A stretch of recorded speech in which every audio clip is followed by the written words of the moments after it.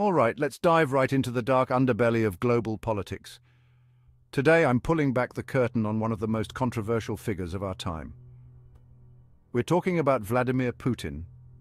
Yes, the man whose iron grip on Russia has sent shockwaves across the globe. Now, let's start with the basics. Putin's rise to power is nothing short of a masterclass in manipulation and ruthlessness. From his early days in the KGB to his strategic ascent in the Russian political ladder, every move was calculated. But it's not just his past that's alarming. It's his present-day actions that should send shivers down your spine. Under Putin's rule, Russia has seen a crackdown on free speech, with journalists and activists mysteriously disappearing or finding themselves behind bars. The suppression of dissent is not just a policy, it's a brutal reality for anyone who dares to speak out. But it doesn't stop there. Putin's geopolitical maneuvers are a threat to global stability. From the annexation of Crimea to the alleged interference in foreign elections, his tactics are straight out of a dystopian playbook. And he's not just playing chess on the world stage, he's rewriting the rules. Let's talk about the economy.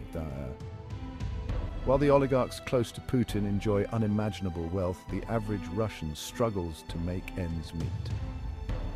The wealth gap is staggering and the corruption is rampant.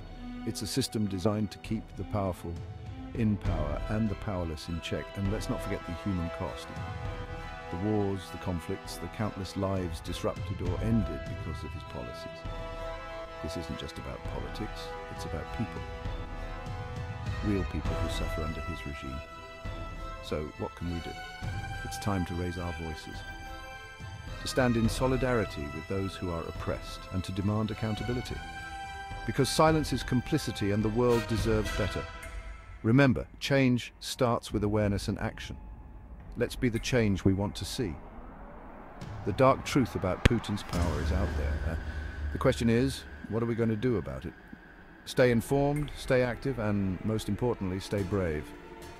Until next time.